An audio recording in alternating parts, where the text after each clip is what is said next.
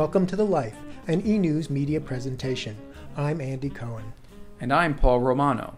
We hope you enjoyed this glimpse into the life of Brooklyn Friends School.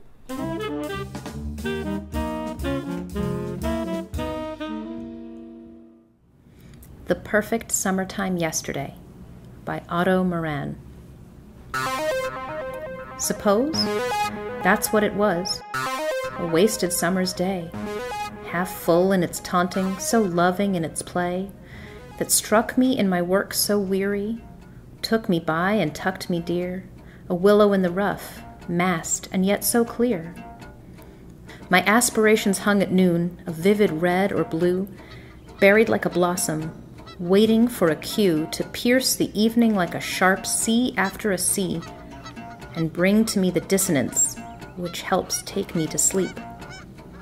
I waited there, a wild willow in the field, living through my hopes like dandelion yield. Puffing from the smoke way up in the high, tickled pink as if my fate would pass me by. The goings of the come and go went a while more, till twilight busted down the roof. I entered through the door to watch my vivid reds or blues as I had once lived before.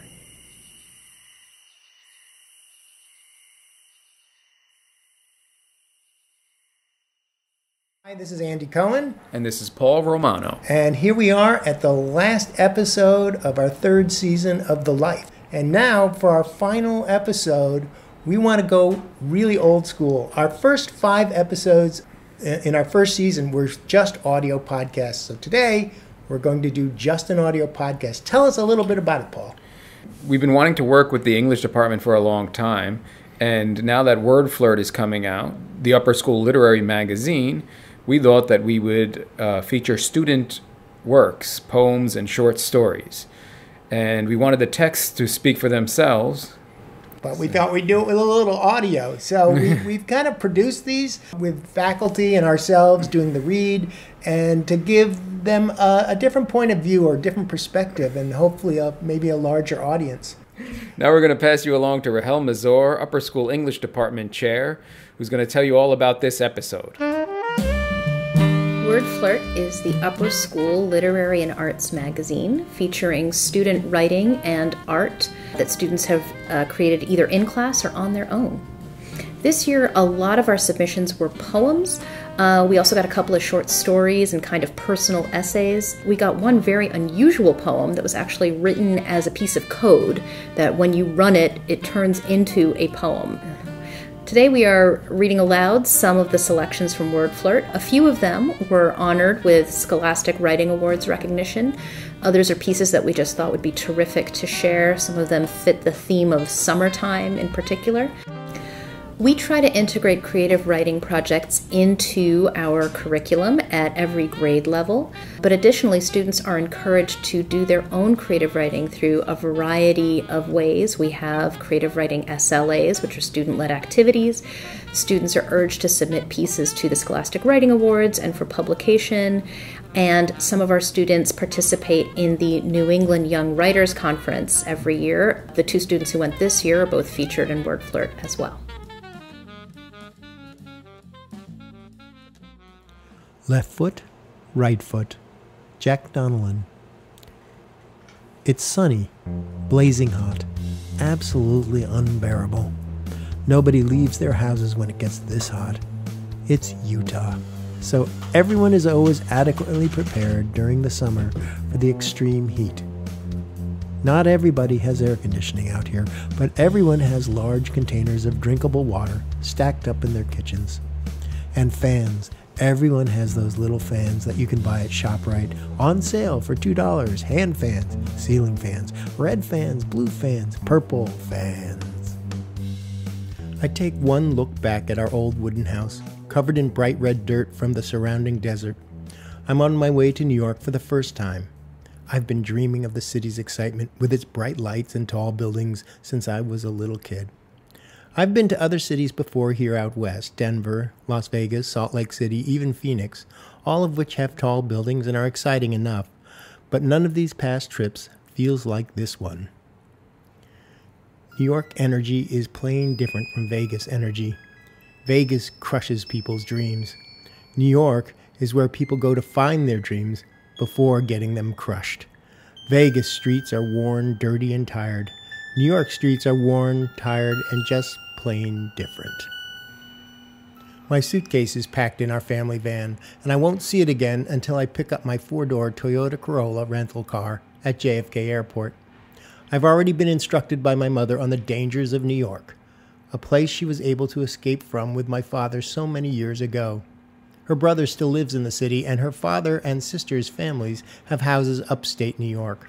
That's why I need the car to visit Aunt Rhonda. I crawl into the passenger seat and glance over at my mother, who is apprehensively wiping off the sweat from her forehead. She hates that I'm doing this, absolutely hates it. I can tell from the disapproving stare she's been flashing at me lately whenever I talk about New York City. If it weren't for my mild mannered, set in his ways father, I don't think that she'd ever even let me talk about the place. We know it's only bad memories for her, but we never talk about that.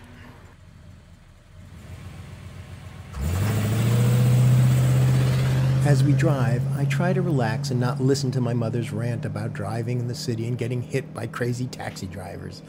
That's when the feeling starts. It's a sink in your stomach, awful, sickly feeling. I'm nervous. Perhaps it's everything my mother said that is now starting to make me second guess my decision. But it's also something more apprehension. I've never gone to a city bigger than Denver. I can see my future embarrassment in the images flashing through my head. I gently close my eyes and tried to think about nothing. I wake up startled to find my mother banging on the car window. I glance at my watch. It's already 3:15. Less than an hour from now and I'll be in the air. I hear honking cars and loud noises. As I step into Terminal 3 of the Las Vegas airport, I glance back at my mother. It's as if her tough love has made me uniquely prepared for this moment. She's back in the van, honking loudly and desperately trying to pull out of the blocked airport departures bay. I take a moment to consider her gruff personality, perfectly juxtaposed with the laid back feeling of the Las Vegas Mandalay Bay Casino Hotel visible in the distance behind her.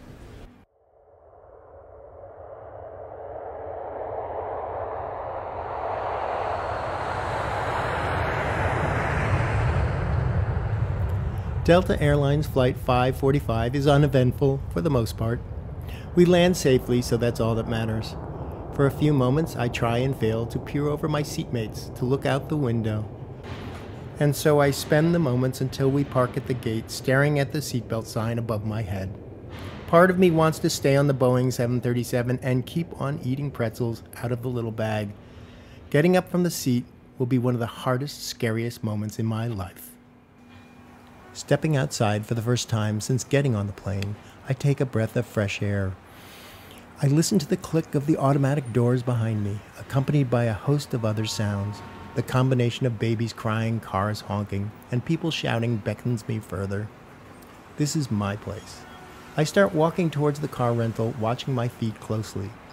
My boots, still covered in the bright red desert dirt from my hometown, are visibly different to those of my fellow travelers. New York had become part of me at first sight, but my home will always be my home. I know that my mother felt different about this place, but the moment doesn't get to be about her. I walk not feeling proud, but feeling satisfied. I am unique. I watch as one foot comes after another left foot, right foot, left foot, right foot, left foot. Untitled by Chelsea Parker. Laying on the warm green grass, thinking, just thinking, reading my book under the sun, plugged into my headphones with the music that goes. A thump distracts and I look up. There's one, two, three, five kids staring, smiling. Two of them have a football. Three of them run around me and they stare at me. I say hello and they smile and run. Young children, about the age of four and five, loving and carefree, screaming and playing on the grass, a moving image of adolescence, wishing nothing more than for the sun to keep shining as bright as their love and youth. Sitting on the warm green grass, I stare and smile, and a tear falls.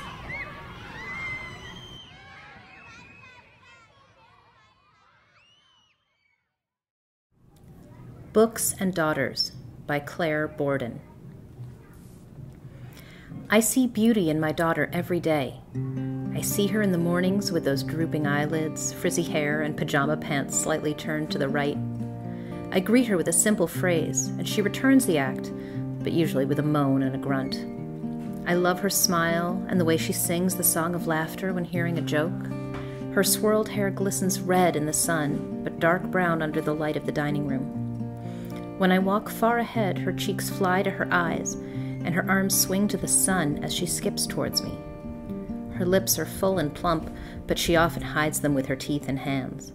Her face scrunches like an elastic band when she is frustrated, and my inability to stop smiling and chuckling only annoys her more. I saw something in her I had never witnessed before the dark and malicious, Scylla like creature that inhabited her soul and mind crept out of its hiding. Its shadow filled her face, eyes, and hands as she strained every muscle in her body. Her pupils shrank to a dot, her arms flung around her body carelessly, and her hair seemed to flatten like a balloon. I have always been fond of reading and appreciated literature, but my daughter hasn't. She used to pout and complain when I forced her to read, but I wanted to teach her the gifts from reading, which led me over the summer to give her a book I thought she would love. She asked why it was long and why I thought she'd want to read 500 pages.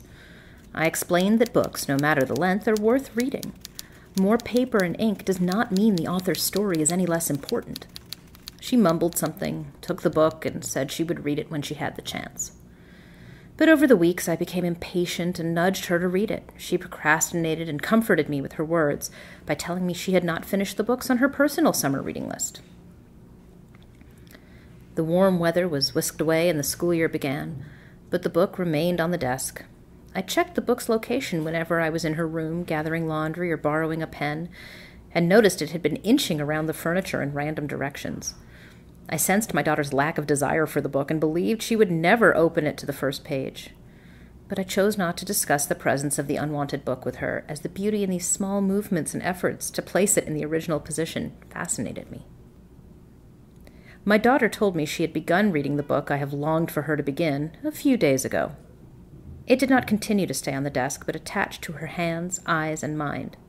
She flipped through the first 100 pages in a week, but did not forget to complain about the 400 pages that remained.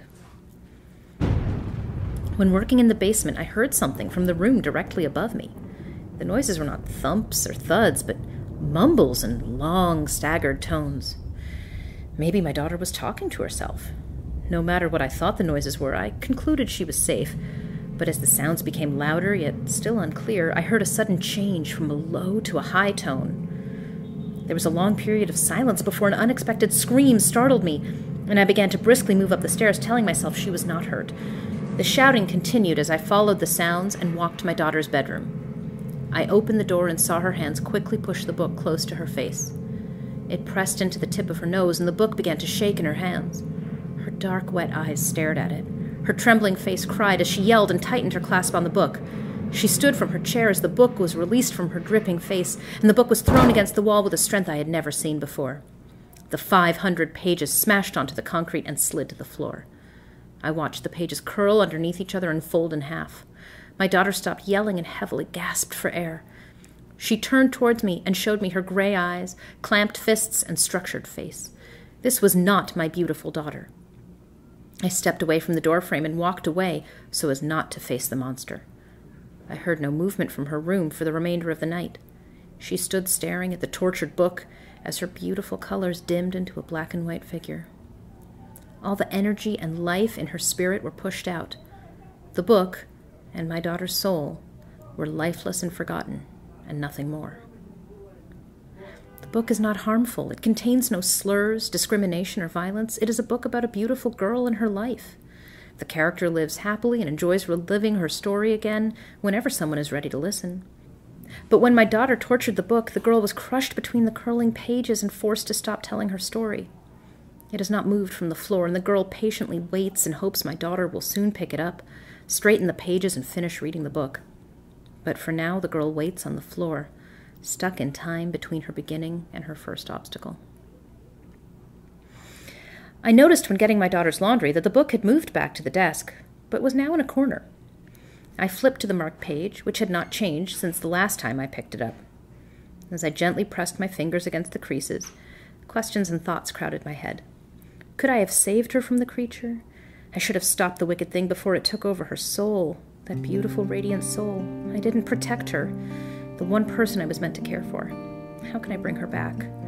My mind only wanted silence, but it could not forbid the nasty thoughts from forming. I wanted my daughter to return. I wanted the book gone, so I picked it up and walked downstairs to the fireplace. But I stopped on the last step. Admiring the delicately written name of the owner on the cover, my body turned in the opposite direction of the fireplace and guided me to the desk. I opened the bottom drawer and hid the book under envelopes and bills. I left it in the wooden drawer to rest forever, hoping it would stay there as I waited for a resurrection to ensue.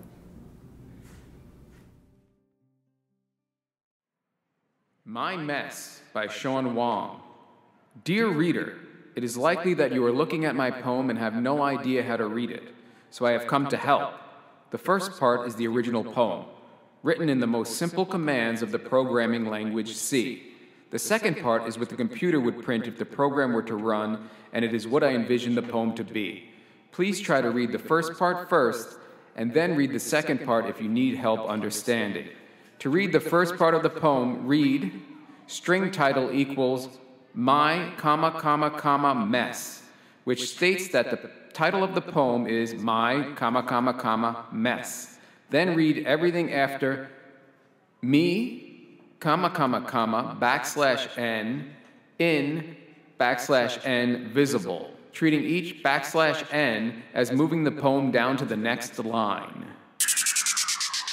Hashtag include less than STDIO period H greater than STR title equals quote my comma comma comma mess quote semicolon int main main parentheses bracket.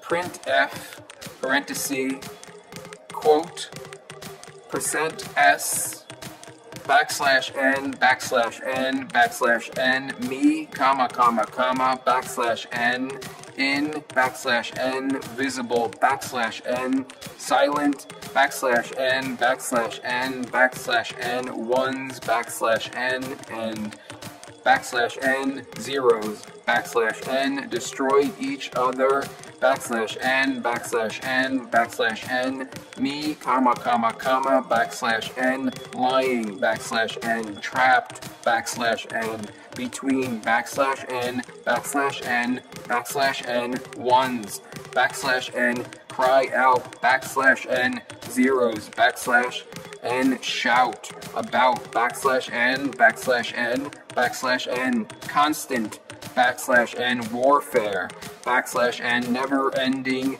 backslash n battlefield backslash n backslash n backslash n thought backslash n we could backslash n come backslash n together backslash n backslash n backslash n I comma comma comma backslash n was backslash n clearly backslash n wrong backslash n backslash n backslash n attendance exclamation point backslash n listening question mark backslash n gone backslash n understanding backslash n not present today backslash n peace question mark backslash n absent as always backslash n community question mark backslash n late semicolon will come forth period if lucky backslash n healing question mark backslash n out sick for the next few days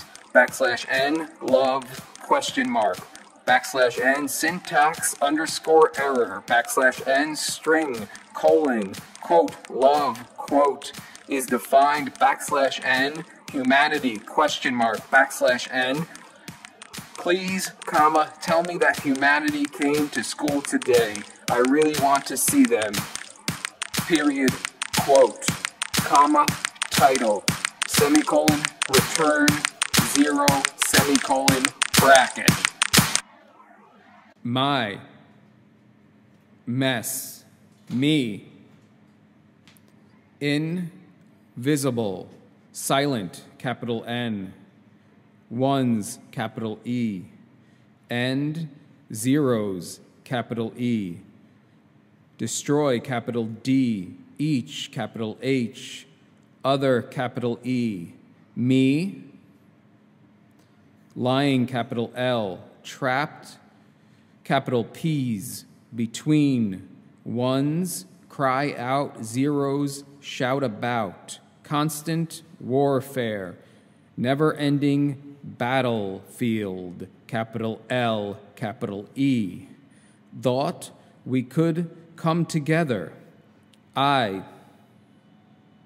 was, capital A, capital S, clearly, capital E, wrong, attendance, listening, gone, understanding, not present today, peace, absent as always, community, late, will come forth period if lucky, healing, out sick for the next few months, love, syntax error, string, love is undefined, humanity, please tell me that humanity came to school today.